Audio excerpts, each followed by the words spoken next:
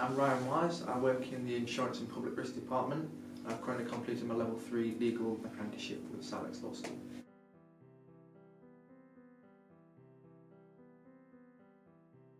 Um, I still wanted to develop my skills and knowledge and progress as a person, but classroom training isn't really for me, so university wasn't really an option.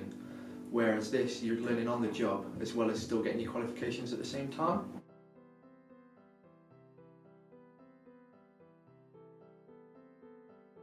We started off, we've got um, competence units, so things like filing, um, communicating with clients, etc., which we have to show um, that we that we can do. Um, we've got a CILEx Law School tutor that came in to assess the work and watch us do those uh, types of things to to verify that we can do it. Um, we also got um, practice units, which the CILEx Law School tutor came in and taught us in classrooms um, and then we took exams in those in summer and January exams.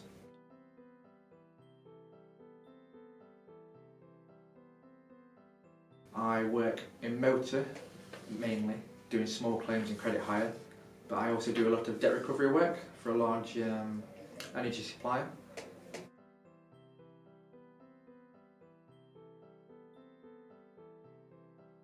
Um, you get paid while you're learning, you, you're getting work experience at the same time, so I think you've got that advantage over people doing the university route because you, you've already got on the job knowledge.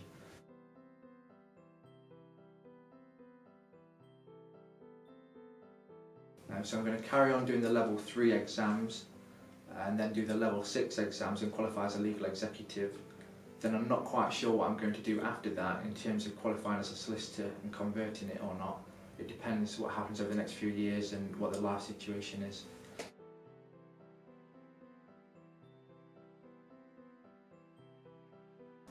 Yes, I would. I think it depends on your learning styles and whether apprenticeships would suit you or not, because everyone's individual and different. But I would definitely recommend it if you if you want on-the-job training but still want to progress and develop more skills.